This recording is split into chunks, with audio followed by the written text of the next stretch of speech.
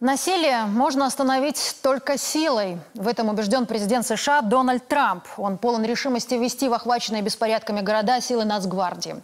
О действенности жестких мер против несогласных всерьез заговорили в эти дни политики Старого Света. Пока они скрупулезно разбирали последние события в Беларуси, давали демократические рекомендации и критиковали Минск, на их улицах разгулялись тысячи утомленных карантином граждан. В Берлине, например, плевали в лицо главе своего Минздрава, пока кучка радикалов пыталась ворваться в здание Рейхстага. И чем отвечают западные власти? Жесткими разгонами, задержаниями и бескомпромиссными предупреждениями.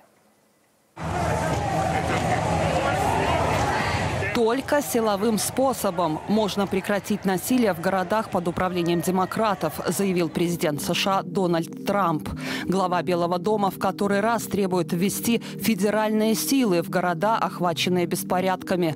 Ответственность за погромы и стычки возлагает на местные власти, обвиняет их в некомпетентности. Да, предвыборное противостояние республиканцев и демократов на финишной прямой. Но делать с протестующими что-то надо мы должны остановить насилие. Тех, кто сообщают в Твиттере, что вы собираетесь в Портленд за возмездием, предупреждаю, держитесь от нас подальше. Ясно, что одними увещеваниями не ограничиваются и не собираются. На днях в Портленде был застрелен еще один участник акций, на этот раз белый мужчина. Подробных комментариев от полиции, кроме сожалений о досадном инциденте, не звучало. Число задержанных в беспорядках в Портленде несколько сотен. Точные данные прессе неизвестны. Всего с начала расовых мятежей в США счет арестованных идет на десятки тысяч. Я не допущу новых ударов по городу, который все еще не может отойти с 25 мая. Мы не потерпим этого, собраны силовые команды. Для тех, кто решил нанести ущерб и разрушение, вас арестуют. Это не подлежит обсуждению. Я призываю людей покинуть центр города. Арестуют всех, кто будет находиться в неположенных местах.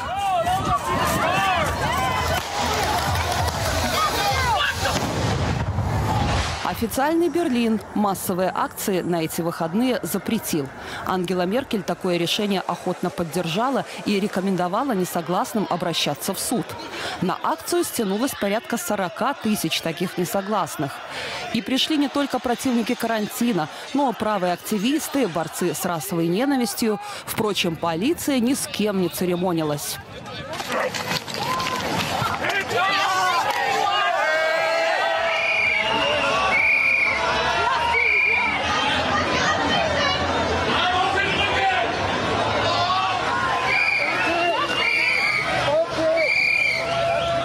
Президент Германии сегодня лично встретился с полицейскими, дежурившими у стен Рейхстага в ту горячую субботу. Он просто взорвался негодованием в адрес дерзких протестующих, штурмующих здание. Использование флагов Рейха и правых провокаций является неприемлемой атакой на сердце нашей демократии. Мы никогда не примем этого. Это вызывает не только презрение. С учетом истории этого места, это невыносимо. Мы не потерпим антидемократической клеветы на Федеративную Республику Германия.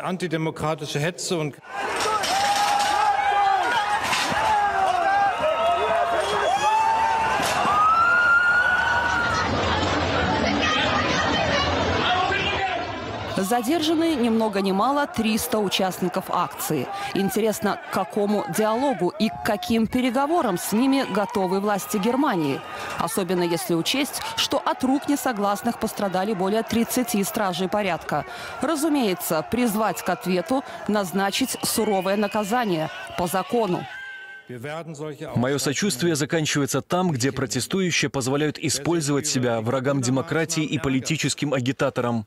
Тот, кто стремится к солидарности с правыми экстремистами на улицах, или тот, кто беспечно бежит рядом с неонацистами, ксенофобами и антисемитами, для нас означает, что он с ними. Президент Германии добавил, желающие протестовать, бойтесь, пресекать ваши выпады будем еще жестче.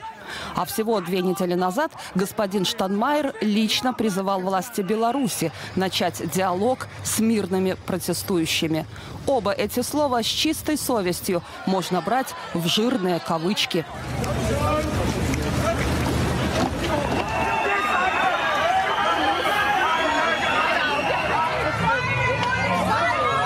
Елизавета Казакова, Дмитрий Талюк, агентство теленовостей.